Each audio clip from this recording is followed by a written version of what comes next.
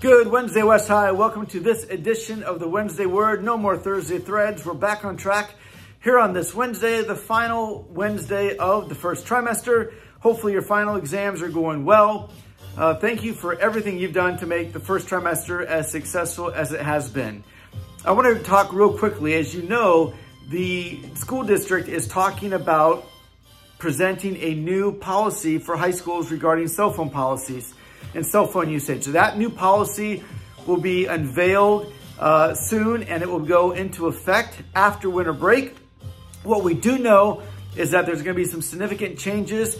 So we're gonna start making some moderate changes here at West to get us prepared for that big change coming after winter break. So beginning after Thanksgiving break, uh, there's gonna be a few changes made to the cell phone policy here at West. Basically, uh, we're gonna have a first offense system. So teachers will say secure your phones and make sure your phones are out of sight in your classes. Uh, they'll give you a verbal warning uh, by the teacher if your phone is out after they've said that. If your phone remains out, uh, the second offense, uh, after that verbal warning, your phone will be confiscated. So teachers will alert the office and somebody will come and take your phone for the day. That's after the teacher has initially said, please put your phones away.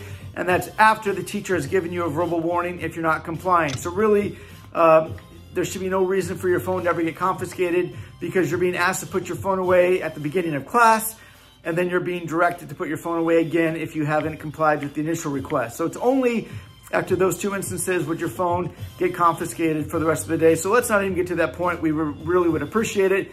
And that's kind of where the district is heading to something along those lines. Anyway, all right. Um, want to give a quick recap. Actually, before I give a quick recap of fall athletics, reminder, since we are at the end of the first trimester, all schedule changes for the second trimester must be done by 3 o'clock tomorrow. So if you want a change in your schedule, make sure you go to the guidance office, the, uh, the school counseling office, and make that change by 3 o'clock tomorrow. Okay, we want to do a quick recap of the fall athletic season as it was one of our most successful ever.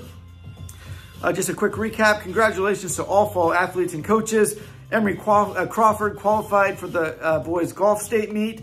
Volleyball made it to the final 16 of the state, making it to the regional final. Uh, football made it to the state quarterfinals, the final eight.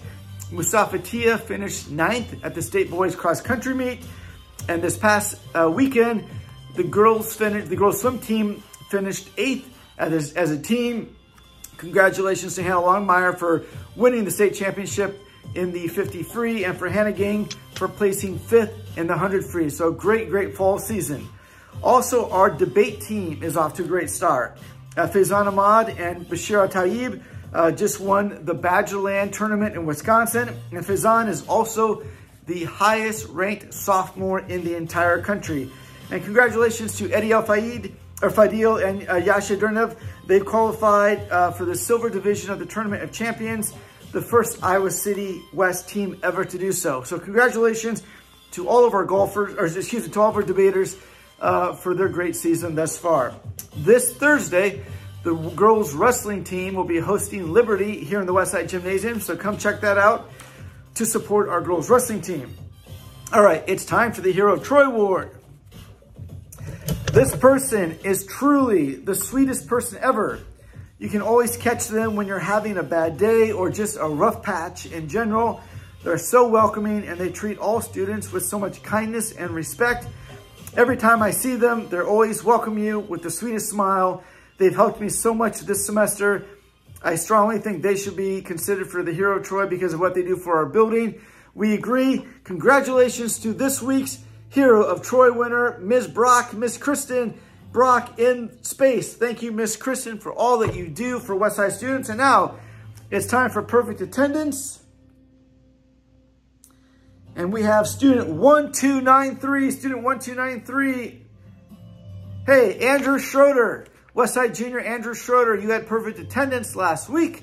You get a free lunch at a restaurant of your choice. Come see Miss Amanda in the main office. We'll get you hooked up. Everybody have a great uh, end of the first try. Can't wait to see you on Monday. Remember, there's no school Friday. Take care. Go West.